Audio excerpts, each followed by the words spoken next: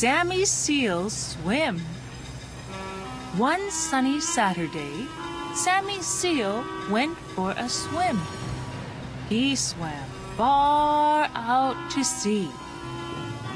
In the salty sea, Sammy saw many sea creatures sharks, sea lions, seahorses, and stingrays. Sammy swam and swam. Suddenly, Sammy saw the sun was setting. Stars started to appear in the sky.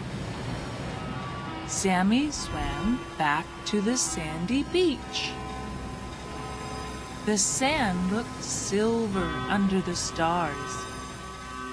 Starfish sat on the sand. Sammy felt sleepy after his long swim.